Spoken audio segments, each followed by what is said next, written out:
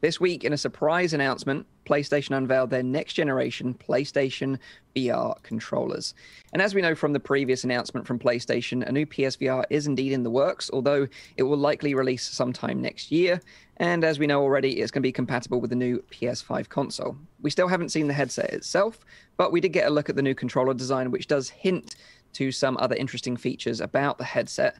So what I'm going to do is I'm going to list some of the features that they've advertised in the blog, and then you can give me your thoughts on each one of these kind of features, and we can discuss them individually. So starting with one of the most interesting ones uh, is adaptive triggers. So each controller will include an adaptive trigger that adds palpable tension when pressed, similar to what's found in the DualSense controller.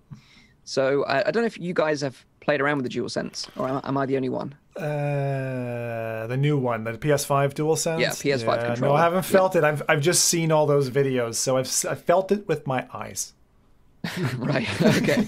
so, so to give you an example, especially for those of you that haven't seen this technology in action, in games like Call of Duty, for example, when you pull up your gun uh, to your, to your sights, you'll feel the tension in the trigger, uh, and then when you pull the trigger button to to fire it off, it will kind of bounce off and kind of give you that rumble feedback on your finger it sounds some it sounds like something that you'd be like yeah it's kind of like gimmicky. Mm. but when you try it you're like holy crap i want this in like every single controller that i own. It really is that good. And certainly when i mm. picked up the DualSense for the first time and we kind of had rumblings that you know playstation will bring out another vr headset in the future i was like we need this on the next gen psvr so the fact that they've added this straight off the bat into the new psvr 2 controllers i'm beyond hyped for it. It's going to be amazing. Yeah, yeah I so that is the adaptive triggers. That's it's all next I, level. That's all I got to say. I mean, it's, it's, just um, tactile is a necessity for next mm-hmm. for next gen VR. Yeah. Um, Something so small like that can really make a big difference. You know, even like Zim said many times, a small amount of haptic feedback in VR goes a long way, right? I, yeah, I think if you if you actually pay attention to the haptics that are in modern controls, right? Doesn't matter what system you have. If you pay attention to how many places the haptics kick in, and give you that experience, that feel. If you then play with an experience where you don't have haptic feedback, it feels like dead in your hands. It like yep. it really feels like all you're doing is wiggling a stick and pressing some buttons. It, it's surprised how unalive that then feels. So this next grade of tactile for me is like ultra. This is probably the the number one feature which excites me about PS VR two. Yeah, the neat thing about it is it's just bringing in another sense into virtual reality, right? You have your, your eyes, you have your ears that has already gone into virtual reality. Now it's also bringing in, you know, more like the tactile kind of feedback. Next, we mm-hmm. we need smell, you know, get that into VR as well. yeah, Oculus Rift, right, Zim? Yeah, yeah, yeah, yeah, yeah. so, um, as well as adaptive triggers and getting that feedback, you also have haptic feedback in the controllers themselves. Uh, they'll be optimized for the form factor that they've produced. Uh, and they say that it will make every sensation in the game world feel more impactful, textured, and nuanced. So mm. that's going to be typical Rumble, I would imagine. I don't think it's going to be anything going to be uh, Joy-Con uh, Ice Cube uh, stuff. Maybe, maybe we don't know. They haven't been too descriptive in what it can do, but that would be pretty next level if they could pull yeah. that off because the Joy Cons I mean, do do do something very special. I mean, honestly, if you if you look at of what you played so far in VR, um, I see a lot of developers not really using the haptic feedback in the controls that much. Uh, mm-hmm. You know, there there's so much you can do with that. You know, like little little sensations can be you know really translate into very cool stuff. Yeah. I think with the adaptive triggers, I think that offers more creativity. Yeah, the combination. Though. So yeah. I think we'll see some interesting stuff there. Yeah. Uh, you also have finger touch detection. The controller can detect your fingers without any pressing in the areas where you place your thumb, hmm. index, or middle fingers. And this enables you to make more natural gestures with your hands during gameplay. Okay.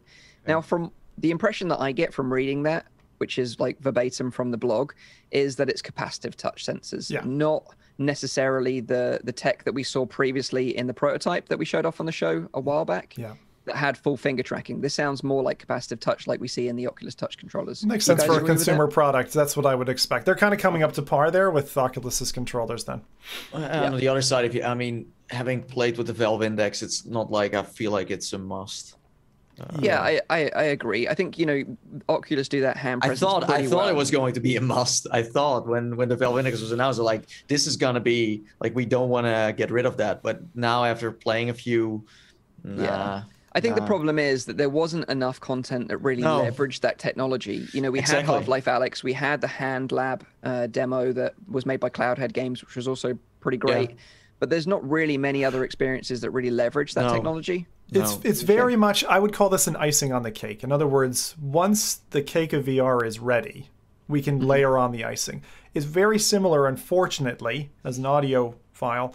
It's very unfortunate, but a lot of games don't take full use of full stage 3D spatial audio. And when you put that in there, it really makes it, right? And it's the same thing here. Like to, to be able to have, again, full finger tracking in VR, it's the icing on the cake. Like it's it's another final stage evolution, right, for your Pokemon. So that's what we want is, is is just that last mile. But I think But- it'll come back. I just don't think now is the right time. It's very similar to what we were talking about with rigs. Like it's all, it's all about timing. And I think right now we don't want icing, we want cake. Yeah, but Yeah. The, the interesting part, if we talk about gestures and stuff, so we can do that with the Valve Index now. We can do that with the Oculus uh, Touch controllers. You know, you can just do a thumbs up, stuff like that. But there haven't been many games where it's getting used. For example, in Lone Echo, if you uh, communicate with the characters, you can do a thumbs up and stuff, and they respond to that. Uh, at least in Lone Echo 2. I don't know if it also was in Lone Echo 1. But when I played the demo, you could do a thumbs up and they would respond to that. So you could just communicate with that.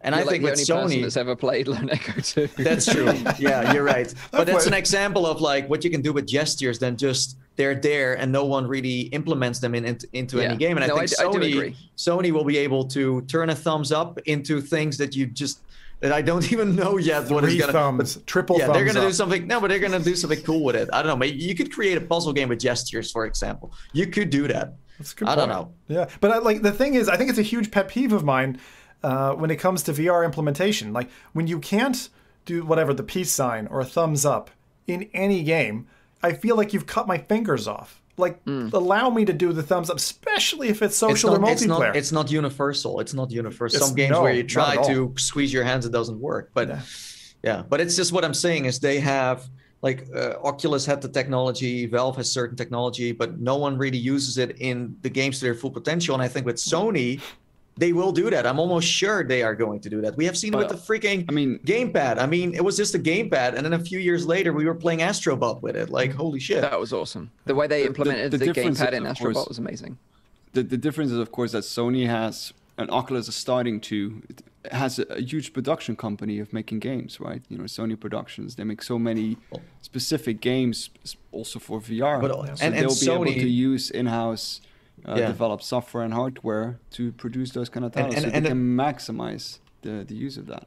and and the people who work at Sony are gamers. Well, Facebook originally isn't a gaming company. You know, it has to still grow in that kind of, uh, you know. That's why the thumb tracking is so good. That like button, press it now. Oh yeah, sure, sure, man, sure. so uh, the next the next feature, which gives a hint as to what might be going on with the headset, is that the VR controller is going to be tracked by the headset itself. Uh, there's a tracking ring across the bottom of the controller, and that runs across you, your hand. So it looks like it's got hidden infrared LEDs in Inside it, like the Oculus Touch. So Yeah. it suggests that we're going to have inside-out tracking Oh. with the headset as well, because it's going to need to have cameras on it to track the controllers. So it would totally make sense. or do you have more. to uh, screw uh, light bulbs into it? Let's just hope that it doesn't have any No, out- outside tracking Oh, cameras or any no- business no more like light that. It's tracking. I, all I was outside, so inside you, out. You know when that like first image dropped and and they weren't showing like they weren't showing so much the front and I was like I bet you there's a, a glowing ball that you just screw into the front of it. Like I was No, no, convinced no. that that's Imagine what's that. coming. it comes with the package. I, I love how these look though. I really do. I think they look Yeah. really cool. Yeah. They do look really nice. they do look really nice. So inside out tracking looks like it's going to be on the card. Nice. That's very good. And also looking closely at the images, there is a USB-C charging port visible on one of the images. So it looks like they're going to have an internal battery that you just plug in and charge the controllers, a bit like what we're familiar with with the moves. Uh, and I think the other big feature is, of course, thumbsticks. This is the move from PlayStation from the move to finally have parity with what's going on in the rest of the industry with Yeah. thumbsticks. And I think this is going to be great for us. It's going to be great for consumers. It's going to be great for developers. It's going to be great for everyone because, especially from a developer's point of view, can you just imagine what it was like for them three years ago when you had Oculus Touch controllers, you had Vive ones, you had uh, PlayStation Move controllers, all of them significantly different in design Yeah. from each other. Now we're starting to see all of these kind of controller designs unify Yeah. and follow the same kind of pattern. The button The layout is pre- pretty much identical on Yeah. all these controllers. Yeah. So I think it's going to mean porting games across platforms. Hopefully, is going to be an easier process for these Plus, developers. They now made controllers that are for VR. Well, the moves were these ancient things that I don't know when they came out, and they were able to resell them just for their VR system, but they weren't originally made to do VR. So now they finally got to create something with all the knowledge they have and all the experience they have to really create a controller that does gaming. And I think Yeah. that's super exciting. The funny thing also is, this looks. the um, Go on, ready?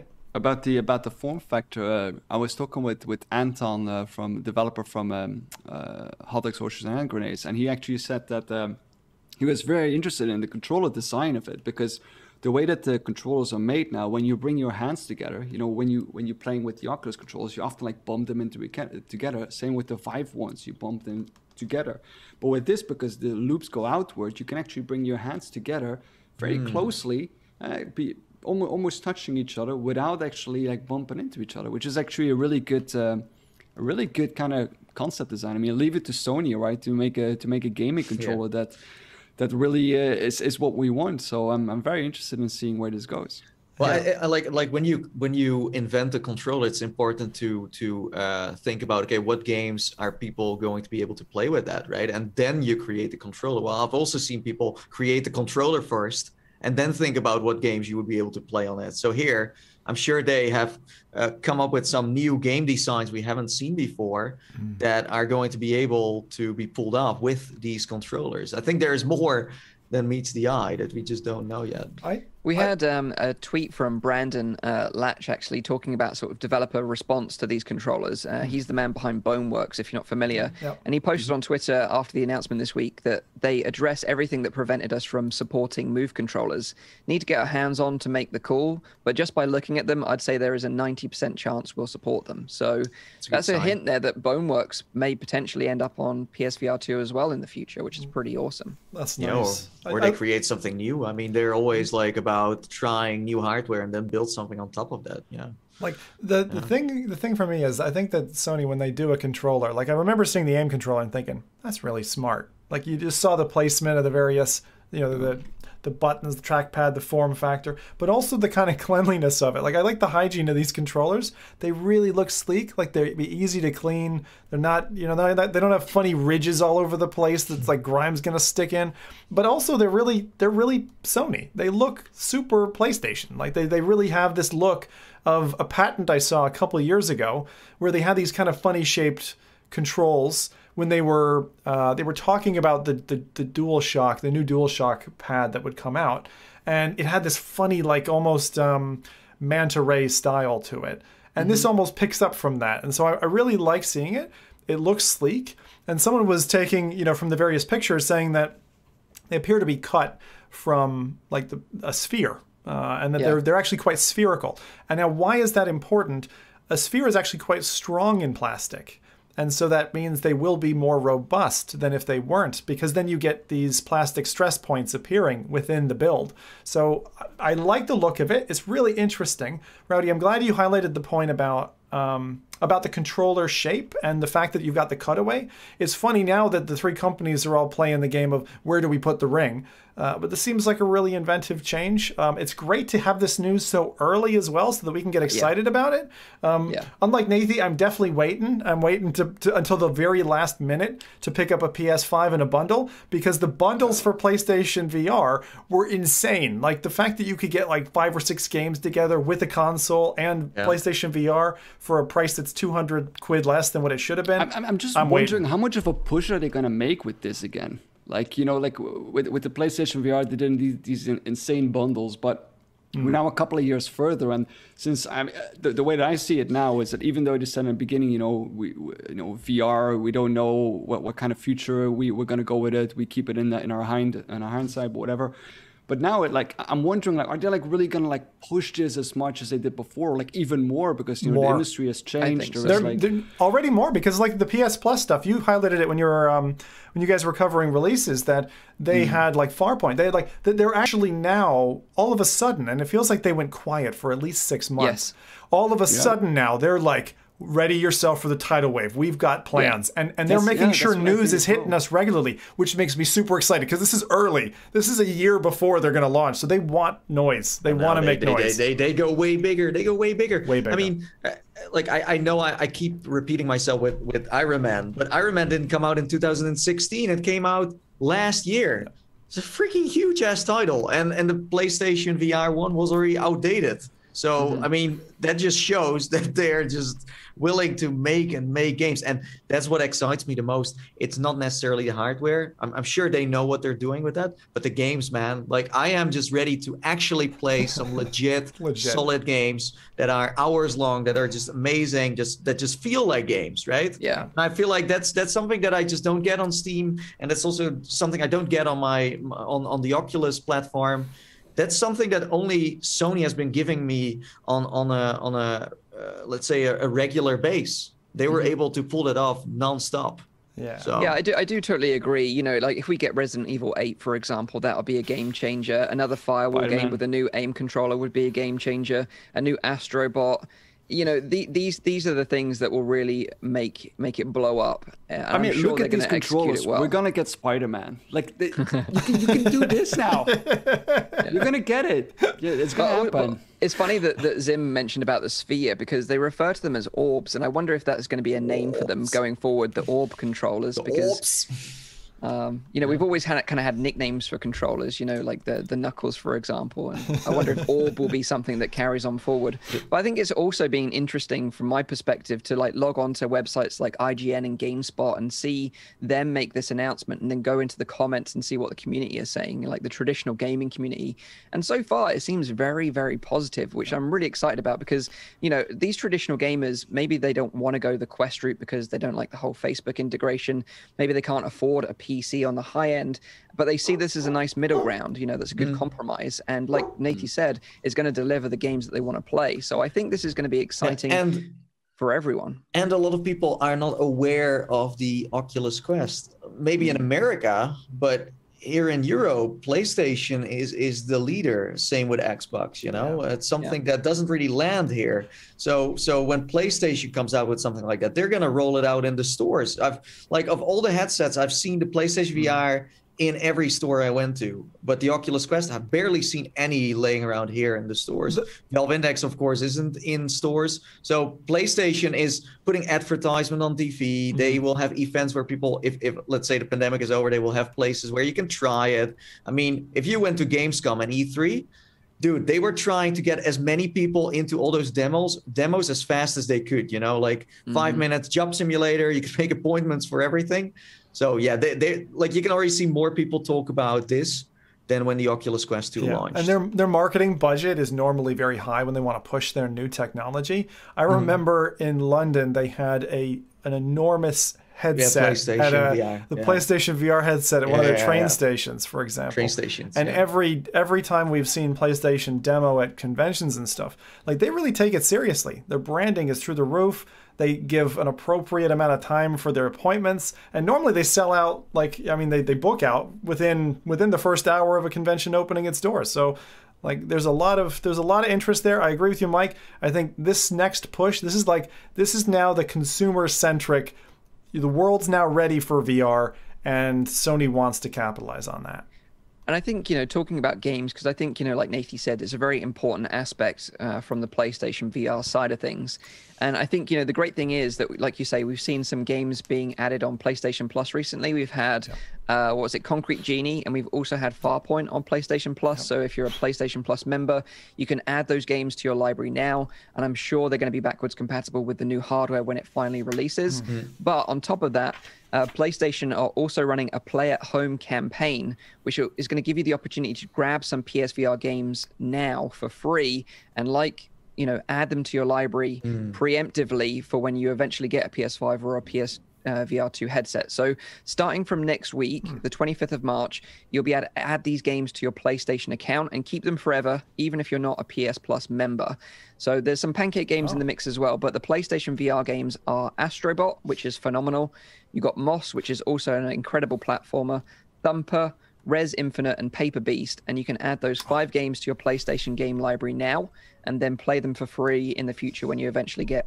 That's Thank you for explaining actually, that, Mike, because I didn't I, I didn't differentiate between PS Plus and Play at Home, and I didn't know that this was something that they were doing as, as a freebie for others. That's that's that's fantastic, especially because a lot of those titles are single player. Like Paper Beast is the perfect example of a, of a game that will will eat three hours of your life, is really pretty to look at, but you probably didn't want to sink you know sixteen quid or twenty dollars into, right? Yeah, absolutely. And I don't even think you need any Mm-hmm. PlayStation hardware right now to take advantage of this offer. So, you know, even if you're just on the fence, create a free PlayStation account, Yeah. add these games to your account, uh, you know, and then when you eventually do take the plunge, you've got like five games ready to play before you even. Thumper two, yeah. Th- Thumper. this this this is what I'm saying. Like Sony is is very generous, uh, rewards you for being their customer, knows what their library exists out of since 2016. They know how to re-advertise them.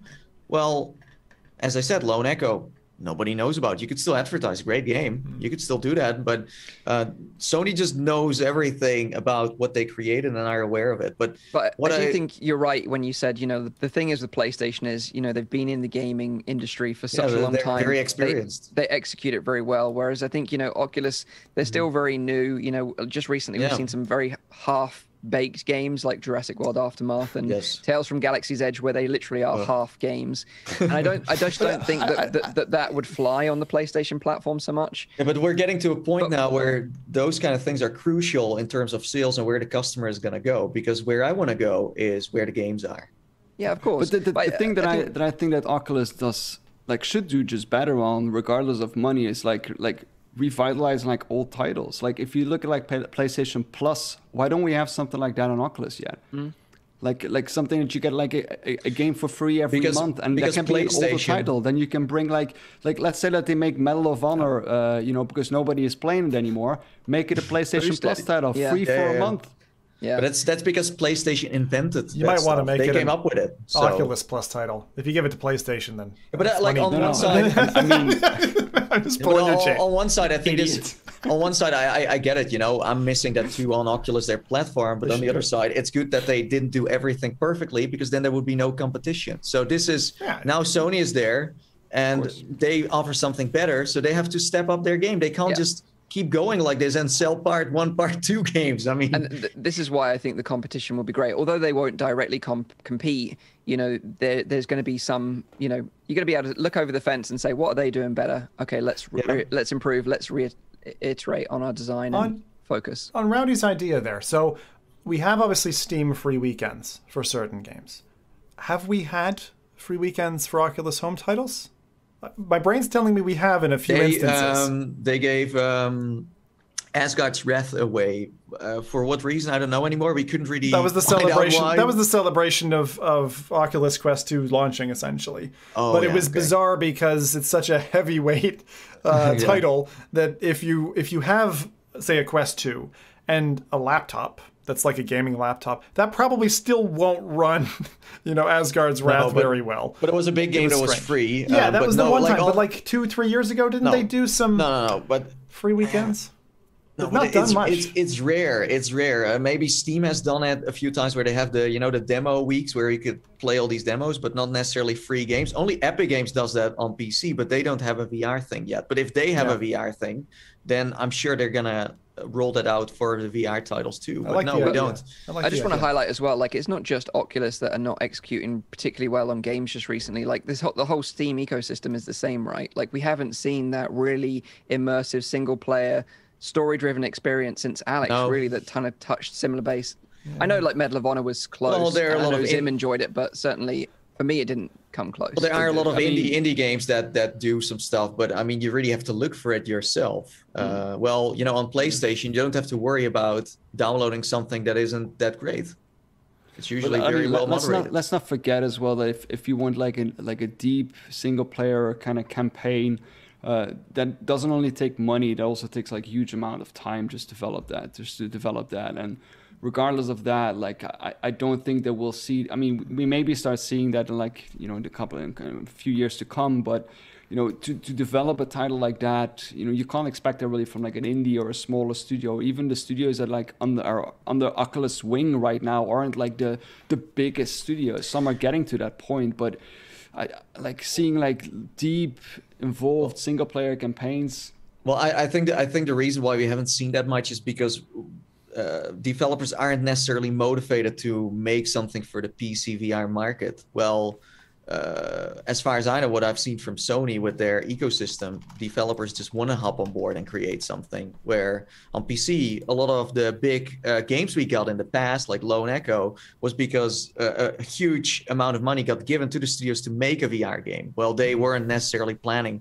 to do one themselves. So if that, it, but, but, you know, what like unique, you know, PSVR unique story-driven experience have we then specifically seen? Blood and Truth. Uh, Farpoint. Truth, okay. But uh, you, have, you, have, like a few of those as well. Farpoint is another good one, yeah. What about Hitman? Yeah. I mean, Hitman's enormous in terms yeah. of content. Although the controller but was that's, rubbish. That's but I'm, I'm sure that game's going to get updated when, with the new headset. And I wouldn't be surprised, and I've said this before as well, I wouldn't be surprised if Half-Life Alyx comes to PSVR 2. Maybe not For as sure. a launch title, but maybe eventually. Yeah. Uh, it would totally make sense. You know, Valve have done it before. We have a lot mm-hmm. to be excited for. And that's Yeah, definitely. The, the sure. thing is, uh, if anyone's been on on the hype train since early on, like being on the hype train is for me half the fun. Like I do like I don't like leaks really, but I really love like when you get this drip fed news and you yeah. can get excited about it and you can dream about it. It's that again, it's it's being the kid hoping for Christmas and I'm glad we've got yeah. something in 2022 we can look forward to. And I think that right now like this announcement is timed because PlayStation is starting to send out these controllers to devs and they don't want them to be leaked. They want to handle the, exactly. the, the, press around it. Uh, mm. So I think that's smart on their behalf. Uh, yeah. You know, I don't know, maybe we'll get a leaked headset or maybe they'll do the similar sort of mm-hmm. tactic with the headset. Hmm. The, the, the thing that I've always applauded like PlayStation 4 is like the the diversity in their games. I think that they've always done. You had like you know platformers like Astrobot, but you also had like really different things. Like for example, Statik. I still haven't seen a game, game, like that. Uh, you know, hitting hitting one of the other stores and um, uh, how is it called again? Like that uh, that platformer with the audio experience. I forgot the name of it now. Uh, platformer with audio. Uh, yeah, I forgot the say name. Say Rez Infinite, but that's not it. No. no. Yeah. It was it was a platformer. But space, space, uh, space Channel Five. please, please. what, what, I'm just trying to say is that it seems yeah. sometimes that PlayStation allows the developers to have a little bit more creative freedom into doing things that are different, rather than just following the the kind of like success formula that we know will work, like we see sometimes with the Oculus title. Yeah. It's funny you mentioned that because we, me and Nathie jumped into a clubhouse yeah, exactly uh, the same this week, we, uh, um, and we were talking about puzzling places. You know, that's on Oculus App Lab. It's just got approved for PlayStation Store, but it's still waiting for approval on the official Oculus Store, even though it's like a, a pretty well known uh, application from both SideQuest and App Lab. Um, yeah, so it, you're kind of right in that sense. That's a good example of an app that you know has been approved on PlayStation, but is still waiting to be approved on the Oculus Store. One, and it's kind of like a hidden gem, you know. Yeah, and on on that same track, Mike, um, one thing that differentiates the PlayStation platform, even for PSVR, right, even back in the day, is their QA system, their quality assurance. They do not allow, you know, like it's like the frame drop, the low lag in performance. I I had it as somebody who always has had kind of a medium tier PC, and I kind of stick to that sometimes you'll have a game that's poorly optimized on PC because they don't have the same kind of benchmarks or submission standards. And although Oculus have done a fair amount of work in that space over the last three years, I would say, say Sony's like quality process really does shine and you feel it. It's so easy to hop into a game. Take, for example, No Man's Sky.